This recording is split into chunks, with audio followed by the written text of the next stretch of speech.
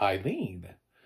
This is uh, a film that's not currently, at least as of me recording this, available to stream anywhere. Uh, I got this as a screener because I'm a voting member for the Independent Spirit Awards. And uh, so that's how I've seen this. Um, it does have it does have an available audio description track that I hope carries over to streaming eventually. Uh, it was done by, I believe, Three Play Media. Is that a thing? Three Play Media? Does that feel like a thing to you? foreplay. It can be foreplay, right? It wasn't. I feel like it was three. Three Play Media. Anyway, um, stars Thomasin McKenzie, Anne Hathaway, and uh, Shea Whigham, and uh, it's yeah, from the director of Lady Macbeth. I didn't see Lady Macbeth, but now I really want to because this is this is something. This is definitely something. This was uh, released by Neon. Neon actually provided me directly with the audio description for it because uh, the way we watch films on for Independent Spirit does not support accessibility. So I had to reach directly out to the distributor for the accessibility. Um, and so thank you to Neon for providing it. And it was worth it. I mean, you're, you guys are getting a good review and not because, not because I feel beholden to you, but because I really thought this was, um, just an oddball, oddball little film that I, I, this is not what I expected at all. Like I've heard people talk about Eileen and even the, the little plot summary of Eileen is it's true, but it makes it sound way more like a thriller or a dark or something. You know, like it feels ominous, so to speak, to say that there's a a young woman whose life is changed dramatically by uh, when and you know that some something changes in her life and and possibly like for the worse or something. It's just it's very very just sort of like, ooh, what could this be? I kind of thought maybe this was going to go like a Carol route where like Anne Hathaway and Thomasin McKenzie were going to have that. So that doesn't know. That's not the, this is not Carol either. This is its own thing. This is very much its own thing. Um, I don't even know what to tell you. Like, if you liked this, you'll like this. Um, I, a little bit of Fargo, I guess, maybe. If did you like Fargo? Um, there's parts of that maybe in here. There's a little bit of that when you first sort of encountered the Coens uh, in mass. Um, I'm going to say I know the Coens had been around before that, but I don't know how many people had necessarily seen films like Miller's Crossing and Barton Fink. But Fargo was kind of their big moment, uh, their big hot, hot moment. And I think that was the moment where everybody looked at Fargo and we were all like, what is this? Who are these Coen brothers and what is it they're doing? It's just like this guy made Lady Macbeth, but I didn't see it. Now he made Eileen, and I'm like, what is this? Who is this guy and what is he doing? so um, I think he has a very unique voice as a director. Uh, I wish he was a writer director. I wish I could say that that, that was for certain. Um, and that this was something that he wrote and then also directed onto the page because the script itself is interesting and the way that it pans out um, instead of just the directorial choices. I, I really needed now I need to see Lady Macbeth to see whether or not William something. Uh, I, I forgot his name. That's the problem sometimes with me doing these reviews. I don't want to be that guy. I see other critics that are looking things up on IMDb in the middle of their reviews. I'm like, come on, guys. Uh, just say you don't know it or whatever and move on. Um, uh, William Opperton or something. I don't know. But uh, I'm interested. So, Eileen. Uh, I think it's in consideration for a couple of things. I think Anne Hathaway is up for supporting performance at the Spirit Awards, I believe. It's a shame that Thomasin McKenzie isn't. Uh, she's delightful in this. This is the second time uh, she was. She was really pretty good in uh, the last something at Soho, whatever that film was last year that Edgar Wright directed. that I've forgotten the uh, title of that, but she was good in it. it I mean, it wasn't going to get an Oscar nomination, but she was good in it. Um, and this is just another film where she is good in the film. And I noticed her. Unfortunately, the best actress race this year is just like insane. Uh, so she's very much getting lost in the conversation, but there's something here. Uh, and Anne Hathaway too is is good. Uh, there's more of a problem with uh, jumping up and down about Anne Hathaway just because of her body of work.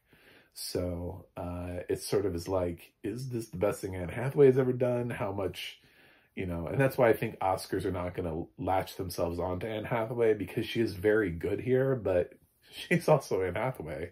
So at this point, she's been very good many times before. So um, she's just turning out another performance that is absolutely worth watching. Um, but uh, this film and Shea Whigham, dude, Shea is is uh, very underrated. This character actor who. if anybody got traction out of this film, I would love for Shea Whigham to get traction just because I, I love it when character actors start getting noticed. And Shea has been in so many things um, where he just has not uh, panned out, where it just hasn't. He was, uh, I know he played Liddy in um, in the Julia Roberts one. Uh, the we've had we had two limited series because that's what we needed two limited series about Watergate, and uh, I believe he played Liddy in the uh, Julia Roberts one, which whose name is escaping me right now, but uh, I think he had a he did a really good job there. Um, yeah, it is a very interesting film.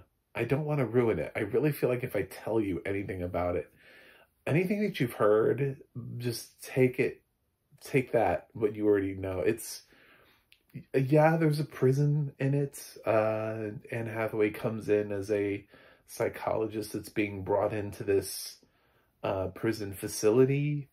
Um, it's kind of how she and Thomasin McKenzie meet to begin with. Uh, but this isn't like a prison drama.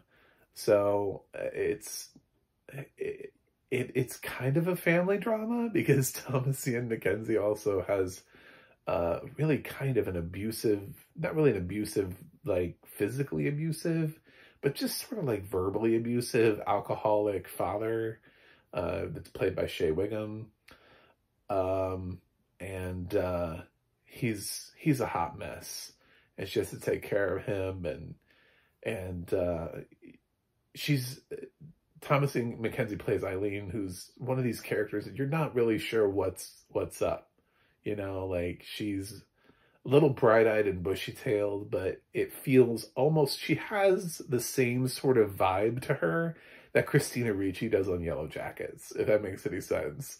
Like there's this little bit of um unnerving quirkiness to her. Like like something could go horribly awry or she could be fine. Maybe, you know, she might have a mental breakdown. She may not, but she could be being slowly pushed to the brink by her father, who uh, is, you know, not a great person, uh, to, for lack of a better phrase. And she sees this um, sort of like beautiful, strong, uh, personality in, in Anne Hathaway's character, Rebecca, and she's drawn to it. And she's drawn to it in like multiple ways, like as a, uh, you know, not just as a start questioning your own sexuality where you're attracted to her, which is sort of, I guess, like the Carol aspect of it, but also just in her assuredness of herself. I think is something that Eileen lacks with with her, within herself, but she sees in Rebecca that she likes and wants to be more self assured and wants to be um, wants to have a future. Would love to be able to know that she has a future beyond just taking care of her alcoholic father. so uh, hence the movie goes. And I can't really tell you much more than that because I really want you to discover this on your own. It's very interesting. It's not my favorite film of the year, but this is a film that makes choices and decisions and I gotta honor it for that. I gotta make, uh, I gotta, I gotta applaud that. Um, I think outright you know, dismissing this film is just not appreciating any of the choices and decisions. There's some other films I've already seen this year that I really loved because they made choices or decisions and they felt like either a director was trying to expand themselves or they were trying to do something different. I really liked uh, Asteroid City is not my favorite film of the year, but I really liked what Wes Anderson was trying to do with Asteroid City, and it felt like he was trying to push himself a little bit more as a director with Asteroid City. Um, I really liked uh, what Ari Aster was trying to do with Beau is Afraid in terms of uh, moving himself as a director, even though there are parts of it that I would not have kept in. And uh, Maestro, I thought, was really Bradley Cooper's uh, adventure into um, showing us that he is a director. He's not just an actor director, but he can just be a director. Um, he who also happens to be in his own film, so he makes a lot of really strong choices uh, to try to get, I think, really noticed by the director's branch. So um, Eileen feels like a film that makes choices and uh, makes some really strong ones that I really liked. It's very odd at times, but it's not that odd. It's not odd in a way where I think it puts everybody off. It's just odd in a way of, I don't think most people would have chosen that. You know, it just, it's very, I respect this a lot. I respect this film a lot. Um, did I love it? No, I didn't love it. I'm sorry. But at a certain point, um, I was like, oh my God. we got to the point, the shoe dropped, and it's a huge shoe. There's a giant shoe that drops. and when it drops, you're just like, wait a minute, what? What film am I in? and, and uh, that's really all I can say about that is uh, it's he's so good at keeping this balance to where you think you're watching like one film and then suddenly it's just like oh, by the way. and I was like, what? okay. So, uh, thank you so much for this experience. I, I felt fully rewarded. I don't know what to do with it. The problem is that I'm a voting member of Independent Spirit and, and there are things that I would, I would love to, to dive into with this movie in terms of its writing and direction um, and Thomasin McKenzie, but I think I, Anne Hathaway is why this film is in, in consideration.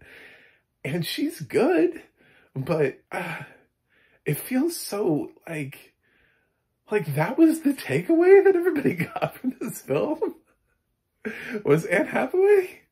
Yes, she's good. She's, she's fantastic in this film, but damn, there are a lot of moving parts here, and uh, I guess it's just too competitive of a year. But then, but supporting Spirit blends genders, so they could have had they could have just easily had Shea Whigham in here, whose performance is uh, it's complicated, but uh, it's it's no less um, impressive than what Hathaway's doing.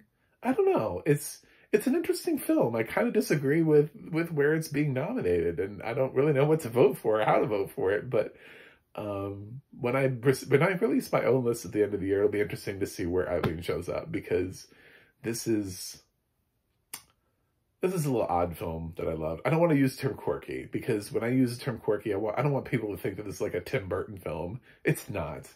It's just its own thing. It's very odd in a way that some of the other films are odd.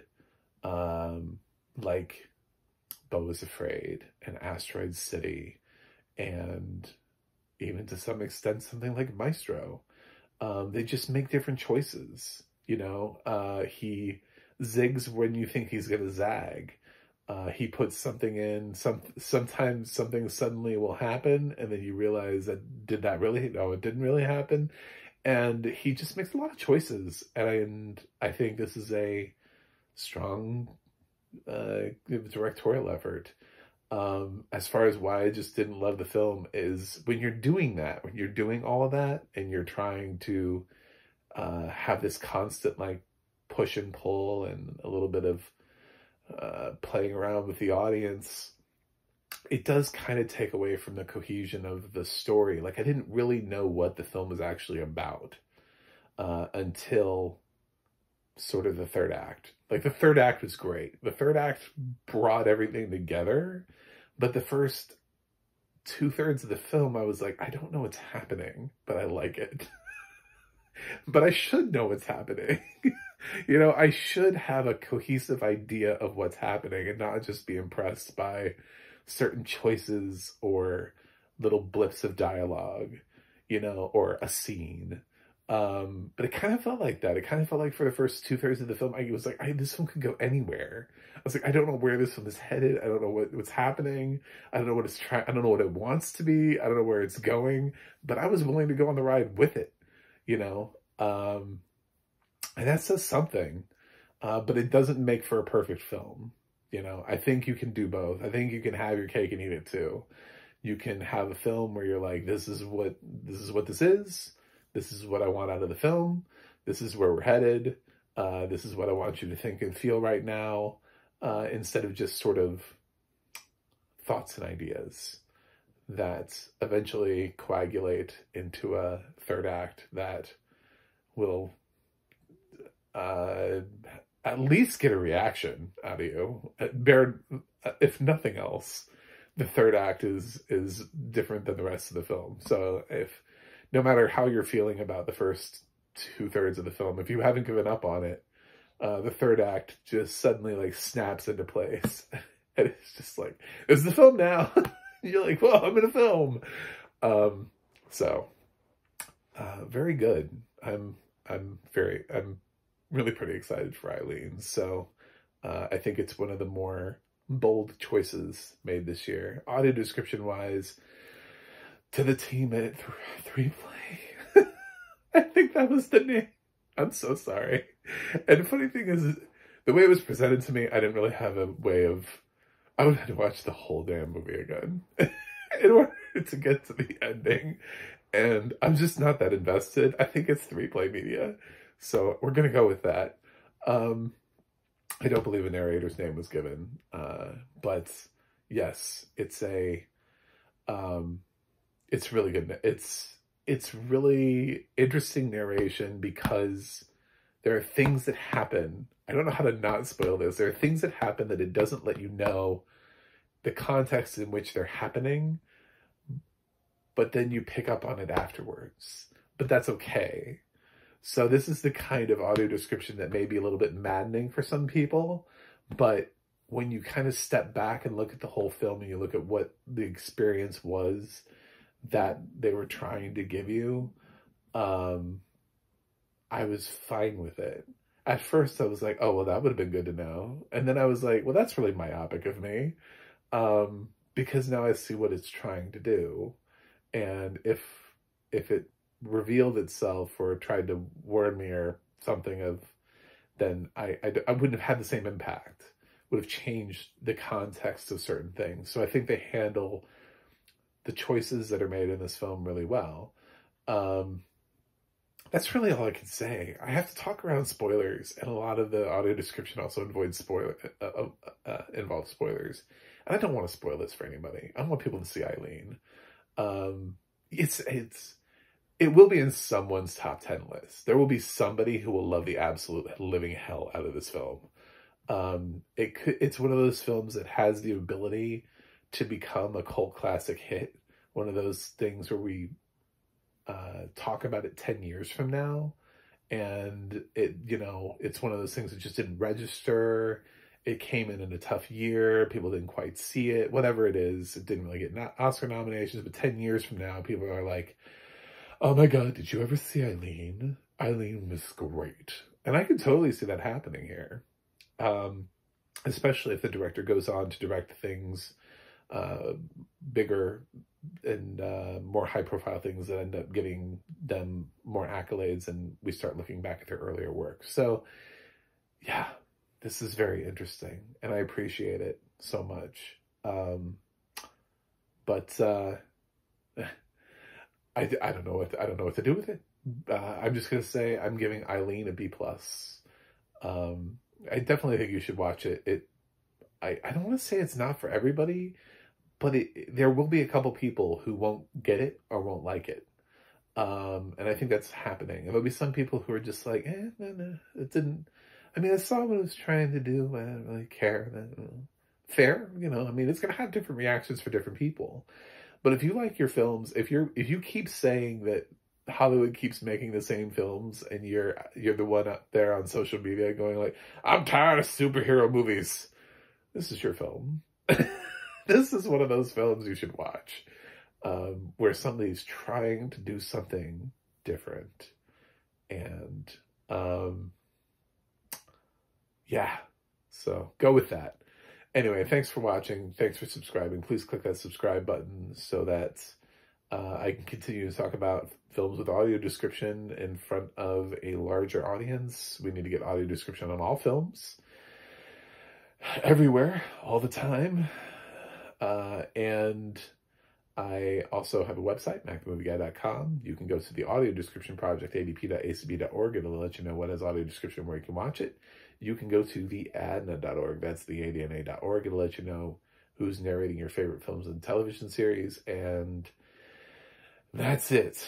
I'm going to watch something else, and I will see you guys on the other side.